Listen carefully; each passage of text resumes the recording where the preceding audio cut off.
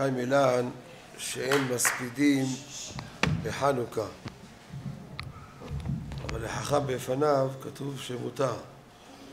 אנחנו פה לא נעשה הספד אנחנו רק נגיד דברים שנלמד מדרכיו. כי תמיד, כל הספד, במשך כל השנה המטרה של ההספד לשמוע על הנפטר וללמוד מדרכיו. אפשר הרבה הרבה ללמוד מדרכיו של הנפטר שאנחנו התאספנו עכשיו לכבודו כמה היה חם ליבו בקרבו לזכות הרבים. כמה הוא הפיץ את התורה והיה נותן מוסר לאנשים והולך ממקום למקום שהוא לא על מנת לקבל פרס. לא צריך ללמוד את דרכיו את הדבר הזה. אנחנו נמצאים בחנוכה. מדליקים נרות כנגד המנורה של בית המקדש. אבל בואו נשים לב יש כמה הבדלים בין המנורה של בית המקדש לנר חנוכה שלנו. קודם כל, זמן ההדלקה. אנחנו מדליקים את נר חנוכה בצאת הכוכבים, כשיש חושך. בית המקדש, כשהיה קיים, היו מדליקים את המנורה מתי? בפלג המנחה. היו מקריבים תמיד של בין הארבעים, זה היה סוף הקורבנות, ומיד אחרי תמיד של בין הארבעים, מבעוד יום, לשעה ורבע קודם צאת הכוכבים, היו מדליקים את המנורה של בית המקדש. אז הנה זה שונה מהחנוכיה שלנו. אנחנו מדליקים את החנוכיה כנגד המנורה. אתה רואה דבר שונה? ועוד דבר, המנורה בבית המקדש היא הייתה בפנים, בתוך בית המקדש. נר חנוכה, לכתחילה, המצווה שלה מניחה על פתח ביתו מבחוץ. המנורה בתוך הבית, החנוכיה בחוץ. מה הסיבה של ההבדל הזה? מנורה של בית המקדש היה בה שבעה נרות, שלושה נרות מכאן, שלושה נרות מכאן ונר אחד גדול באמצע, זה נר תמיד שדולק מערב עד ערב. היו רק שבעה נרות, בחנוכיה שלנו יש שמונה נרות. מה הסיבה שכל ההבדלים האלו, ואנחנו עושים את החנוכיה כנגד המנורה של בית המקדש, תעשה בדיוק כמו המנורה. קודם כל זמן ההדלקה, מספר הנרות, שעת ההדלקה. למה אתה, למה, שיהיה גם כן בפנים, למה השינויים האלה? באמת, תמיד מספר שבע זה מראה על טבע. הקדוש ברוך הוא ברא את העולם שישה ימים, ביום השביעי שבת ויהי נפש. זה סדר בריאת העולם, שבעה ימים. שבע תמיד מסמל את הטבע. מספר מעל השבע, שמונה, זה מראה משהו שמעל הטבע. מה שקרה בנס חנוכה זה היה נס מעל הטבע, דבר לא מובן. הייתה משפחה אחת, משפחת חשמונאים, שהיו תלמידי חכמים, היו בחורי ישיבות, ואז הם לא יכלו לסבול את הגזרות של היוונים, ועמד מתתיהו, כהן גדול, וצעק מי להשם אליי, והלכו כל המשפחה, עוד כמה אנשים התאספו מהם, וזה דבר פלא. מעטים האלו הם ניצחו את הרבים. ואיזה רבים? גיבורים. יהיה להם פילי מלחמה, היה להם נשק, מה היה להם? משפחת חשמונאי. היה להם גמרות, מה היה להם? אבל עשה נס, הקדוש ברוך הוא עשה נס, נס הניצחון הזה, וגברו החשמונאים על היוונים. והמשכה מלכות ישראל למעלה מ-200 שנה עד חורבן הבית השני. זה הנס הגדול שקרה. אנחנו מציינים את זה בנר חנוכה, בנס של פח השמן, שהיה בו להדליק, לא היה לו שמן אפילו לילה אחת לא היה להדליק, לפי הגרסה של שיטות דרב החי גאון. אפילו לילה אחת לא עשה להדליק ונעשה נס ודלק שמונה ימים. אנחנו מציינים את זה מציינים. את הנס של ניצחון אנחנו לא מציינים. תראו בפריז, שם יש שער הניצחון. תראו ברומא, יש שער טיטוס. באמריקה יש סמל של הניצחון שלהם. אנחנו לא עושים שום דבר לניצחון, לא אנדרטה ולא שום דבר. מדליקים נורות חנוכה. זה משהו רוחני. האור זה הדבר הגשמי, הכי קרוב לרוחניות זה האור. יש אור, זה גשמי, אבל זה הדבר הכי קרוב לרוחניות. אם רוצים להבין מה זה רוחניות, זה האור. אנחנו מדליקים נר שייתן אור להראות לך שהכל מאיתו יתברך, הכל נס. אז גם הטבע, מה שעשו מלחמה וניצחו המעטים את הרבים, חלשים את הגיבורים. גם הטבע הזה, זה נעשה הכל מאיתו יתברך. הכל מהקדוש ברוך הוא. לכן מדליקים את הנרות ולא עושים זכר לניצחון. שמונה נרות מדליקים, דבר מעל הטבע. תמיד מספר שמונה זה דבר שמעל הטבע. לכן מדליקים שמונה נרות, לא כמו המנורה בית המקדש שבעה נרות. וגם כן, לכן מדליקים את זה בחוץ ולא בפנים, המנורה מדליקים בפנים, חנוכיה מדליקים בחוץ. למה? לפרסם את הנס. לפרסם את הנס, כולם יראו את הנס שהקדוש ברוך הוא עשה לנו. איזה ניסים, לא רק פח השמן, כל הניסים האחרים שהיו בזמן חנוכה, זה לפרסם את הנס. וגם כי מדליקים את זה לא פלג המנחה, מדליקים את זה צאת הכוכבים. שרגה בתיארה מים מענה. נר ביום, מה זה מועיל? פלג המנחה יש עדיין אור, מה יעזור הנרות האלו? לכן מדליקים את הנרות דווקא בצאת הכוכבים. מדליקים את הנרות בחוץ, כדי שמעט מן האור דוחה הרבה מן החושך. אנחנו נראה בחנוכה, יש מחלוקת בית שמאי ובית הלל. לפי בית שמאי, יום הראשון מדליקים שמונה נרות, הולך ופוחת, שבעה נרות, שישה נרות. לפי בית הלל, יום הראשון מדליקים נר אחד, יום השני שתיים, מוסיף והולך. מעלים בקודש ואין מורידים. כנגד הימים היוצאים. הלכה כבית הלל, חנוכה ראשי תיבות, חטא נרות והלכה כבית הלל. ככה מילה. מה חולקים ביניהם בית שמאי ובית הלל? לפי בית שמאי צריך שמונה נרות, שבעה, לפי בית הלל לאט לאט, אחד אחד, מה יסוד מחלוקתם? יש שני דרכים להילחם בחילוניות. אותם האפיקורסים שמחללי שבת בפרהסיה ואוכלים טרפות ובלות ואומרים כל מיני איסורי תורה, צריך להילחם בהם. יש שני דרכים להילחם. יש תקופות שיש להם השפעה על הציבור והציבור הולך אחריהם, צריך להילחם בהם בכל הכוח, כמו בית שמאי. מיד, שמונה נרות, לא, לא להתפשר, הם קצת נכנעו, שבעה נרות, מורידים. אבל להתחיל במלחמה עד הסוף מלחמה. זה מה שעשה הגאון החתם סופר לפני קרוב ל-200 שנה, שאז התחילה, פשטה תנועת ההשכלה הארורה, ורבים חללים מפילה. כמה אנשים הלכו אחרי ההשכלה הארורה. הייתי באחד הספרים שמספר שלפני בערך כמאתיים וכמה שנים היה יהודי אחד בשם מנדלסון. הוא טבע את הסיסמה, היה מראשי המשכילים: יהא יהודי בביתך ואדם בצאתך. אתה יוצא לחוץ, תלבש כיפה.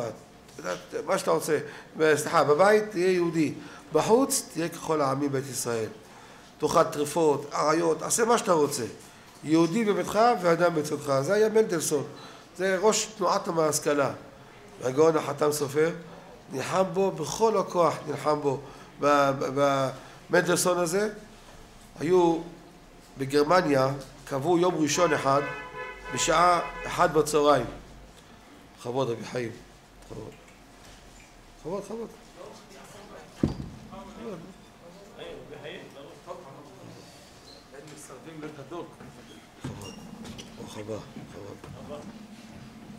בשעה אחת בצהריים צלצלו כל הפעמונים בכנסייה בגרמניה ולמעלה מ-200 אלף יהודים צעדו בסך לכנסייה והלכו להתנצר תחת הסיסמה ככל העמים בית ישראל. אף אחד לא הכריח אותם. לא היה פה שום כפייה. הלכו מרצונם החופשי להתנצר. בתוך הדבר הזה תנועת ההשכלה, שככל העמים בית ישראל. שיש דבר כזה, שכזו השפעה יש על הציבור, צריך להילחם בהם בכל הכוח, בלי שום פשרה. החתם סופר היה מתעקש על כל מנהג ומנהג של עם ישראל, חלילה וחס לא לבטל שום מנהג. בפסח לאשכנזים יש מנהגים, הרבה מנהגים שלכאורה נראים לנו תמוהים. יש שלא אוכלים בצל, יש שלא אוכלים צנון, מנהגים מאוד תמוהים, ולא מבטלים אותם. הם יודעים, אתה מתחיל לבטל מנהג קטן, אחר כך תבטל מנהג גדול, אחר כך תבטל עיקרי גופי תורה תבטל. זו השיטה של בית שמאי. שמונה נרות, מיד, בכל הכוח עושים הפגנות, עושים את הכל, שהשכלה חס ושלום לא תשפיע על הציבור. לפני השואה האיומה, לפני 80 שנה בערך, 70 שנה, היה התבוללות בעם היהודי בצורה נוראה.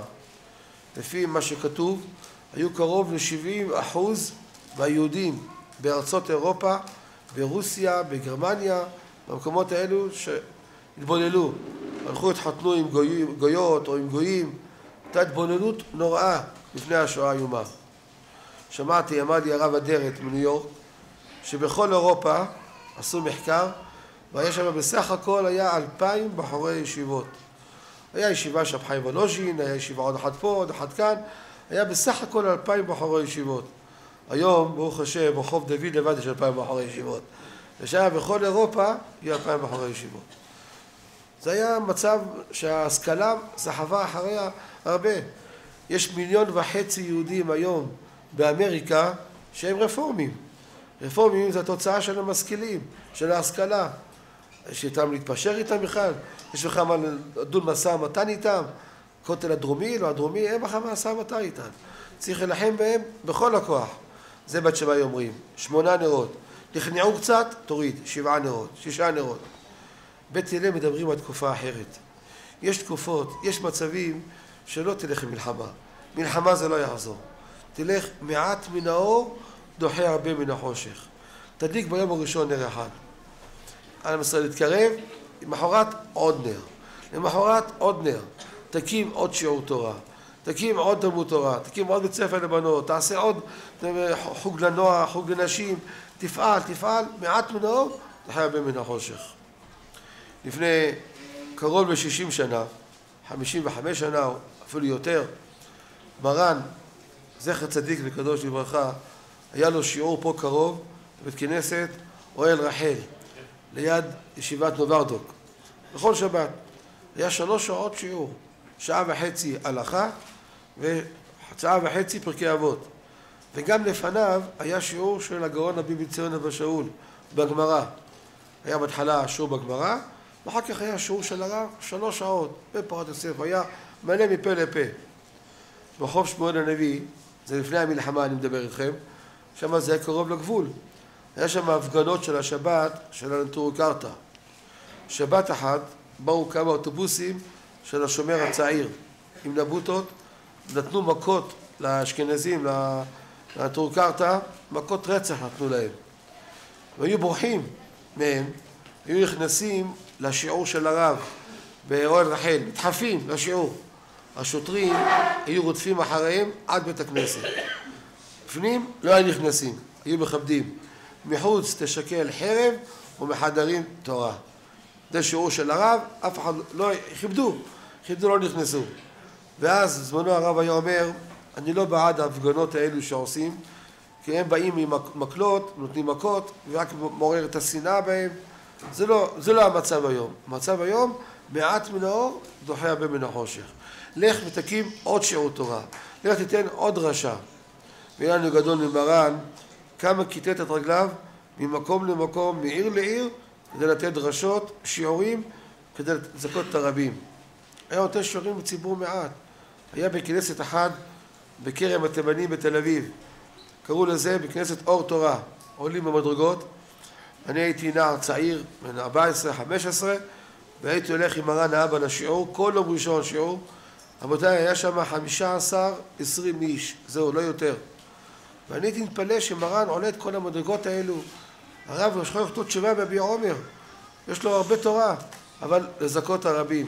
פעם שאלתי אותו, זמן, למה הלכת למקום כזה, מעט אנשים? חסר מקומות, יש שם הרבה אנשים? ואני לא הולך בשבילם דווקא. הם ישמעו מה זה התורה. יהיה להם את ההשקפה של התורה, ישלחו את הבנים שלהם, את הנכדים שלהם, לכו לתלמודי תורה, לכו לישיבות. והרב הלך ממקום למקום, עוד הוא לא היה רב ראשי. לא רב ראשי לתל אביב ולא רב ראשי לישראל, היה בסך הכל חבר בדין. ואני זוכר שמרן היה לוקח אותנו בתור ילדים קטנים, בוא איתי, יש לי היום פתח תקווה, יש לי היום בני ברק, היום אני נוסע לנתיבות, היה נוסע ממקום למקום לזכות הרבים. זה מעט מן האור, דוחה הרבה מן החושך. זו השיטה של בית הלל. ביום הראשון מדליקים נר אחד, יום השני עוד נר, ככה מוסיף והולך עד שמחזירים את עם ישראל בתשובה. כמו שכותב הרמב"ם, כבר הבטיחה תורה שסוף ישראל לחזור בתשובה. לפני הגאולה השלמה יבוא משיח צדקנו, לפני כן כל עם ישראל כולו יחזור בתשובה, אבל זה לאט לאט. צריכים לפעול, הרבנים צריכים ללכת ממקום למקום, לתת רגליהם. לפני שבועיים שלוש היה פה כנס רבנים עולמי. כל הרבנים הספרדים התאספו והיה נשיאות מועצת חכמי התורה והיו שם כל הרבנים ובאו רבנים ספרדים מכל המקומות. לאשכנזים יש ועידת רבני אירופה, הטהרת האשכנזים. יש להם עוד ועידת אה, אה, מרכז רבני אירופה, יש להם ארגונים שלהם. לנו הספרדים שום דבר לא היה. מה היה שאיחד את הרבנית הספרדים? לא היה. ברוך השם עכשיו תפסו יוזמה ובאו כל הרבנים, מכל המקומות הגיעו, מאיפה לא הגיעו? פנמה, ארגנטינה, ונצואלה, לונדון, צרפת, אמריקה, כל המקומות, קנדה, כל המקומות כולם הגיעו. ושמעו שיעורים, והתייעצו בכל מיני הלכה, היה דבר גדול. אומנם יש איזה רב אחד מבית וגן שכדרכו יצא נגד זה, אבל הוא לא צודק, מה הבעיה בזה? אומר גדולי הדור יצאו נגד כינוסי רבנים. למה נגד? מה יש בזה? תשים הרבנים ביניהם, שומעים שיעורי תורה, שומעים דברי חיזוק, רבנים כולם יראי שמיים כמו חכם שלום וכמו שאר הרבנים. למה לצאת נגד? לא מבין אני. היה בזה ברכה בדבר הזה. ניגש אליי אחד הרבנים מהקהילות, אני מכיר אותו, רב צעיר, דינמי, נותן שיעורים, הוא רב באמריקה. אמר לי הרב אני רוצה להתפטר. מה קרה? סיפר לי על איזה גבאי שגם אני מכיר אותו. הגבאי הזה איש קשה, עושה לי צרות, לא יודע לכבד, גם לא נותן לי מספיק כסף, מדבר, מדבר. תגיד לי, הציבור אוהב אותך? ברוך השם. באים השיעורים, באים, שומעים, אני מזכה את הרבים. הוא גם הולך בהלכות, הולך בדרך של מרן. כל ההלכות שהוא אומר נתן לציבור באמריקה, דרך של מרן. כי שם יש, מי שמכיר שם, הרבה משתכנזים. הולכים אחרי רבני אשכנזים, וכל... הוא הולך בדרך של מרן, מזכה את הרבים, מאיר את עיניהם של הציבור שם, פותח להם את העיניים. לא כל דבר אסור. אצלהם כל דבר, כמעט כל דבר אסור. הוא פותח להם את העיניים, מראה להם מה זה כוחה דיתרה. גם לא כל דבר מותר, אבל מראה להם את ההלכה, במצוא בסולידרית. אבל הוא רוצה להתפטר. הוא אומר, אני חוזר לארץ, אני יכול להתפטר. אתה תגיד לי, אין לך מה לעשות? יש לך ציפור זהב ביד. אתה פותח את היד שלך ואתה משחרר את הציפור? זה ציפור זהב. אתה מזכה את הרבים, אתה יודע איזה זכות יש לך? מצדיקי הרבים ככוכבים לעולם ועד. הכוכבים לנו נראים קטנים בשמיים. אבל כשמזכים את המתקרבים אליהם, רואים אותם כמה הם גדולים. פי כמה מכדורת, זה מזכה הרבים. יש לך כזה זכות גדולה, אתה צריך לשלם על זה. טוב, אתה לא משלם, אבל אתה צריך לעשות חשבונות שהגבאי ככה, לא מכבד אותי, לא ככה. תוותר על הכל, תקפוץ על המציאה, לזכות הרבים. שמע מה שאמרתי, לא קיבל חיזוק בדבר הזה, מה אני חוזר בחזרה לאמריקה, ביתר שאת את העוז להפיץ את הרבים. זה מה שאני מדבר על המנוח, זכר צדיק לברכה. אנחנו הכרנו אותו, רבותיי, שנים על גבי שנים, הכרנו אותו. וכל השנים שהכרנו אותו, כל כולו היה למען הציבור. כל כולו היה למען זכות הרבים. אם זה בקטמון, ואם זה בשכונות האלו, היה הולך ממקום למקום, מזכה את הרבים, לא על מנת לקבל פרס. לשם שמיים היה עושה את זה, ממש צדיק וירא שמיים. שבוע לפני פטירתו, הוא הגיע אליי, לרבנות. ממש שבוע לפני פטירתו, בקושי הוא הלך. הוא בכה לי, הרב, אני רוצה לחיות כי אני רוצה לזכות הרבים. למענך אלוקים חיים. לא רוצה לאכול נפויה ולשבע מטובה. אין מטרתי להיות מן העולם הזה לטייל. אני רוצה לחיות כדי לתת עוד דרשות. ראיתי איך שהוא בכה, הרב אני רוצה לחיות. כנראה זה כבר היה מאוחר כבר כנראה. היה מאוחר מדי, ושבוע אחרי זה נפטר לבית עולמו. אבל למעלה יש לו מקום גדול מאוד למעלה. אדם שזיכה את הרבים, אין ארוך לשכר שיש לו. ברוך השם זכה שהניח בנים כמותו, שגם הם הולכים בדרך שלו. בוודאי שעמו בתפילה לפני כיסא הכבוד, כל בני משפחתו, על האלמנה, על כל, כל הילדים, הנכדים, שלא יוסיפו דאבה, ונלמד רבותיי, נלמד מדרכיו, כמו שהתחלתי להגיד, זה מטרת ההספד. כל אחד ואחד יעשה מה שיכול לזכות הרבים. להקים עוד שיעור תורה, לבוא לשיעורי תורה, לזכות הרבים כמה שאפשר, וזה עם נשמתו של הנפטר. נזכה כולנו לתחיית המתים, נזכה לגאולה שלמה, ברא בימינו אמן ואמן.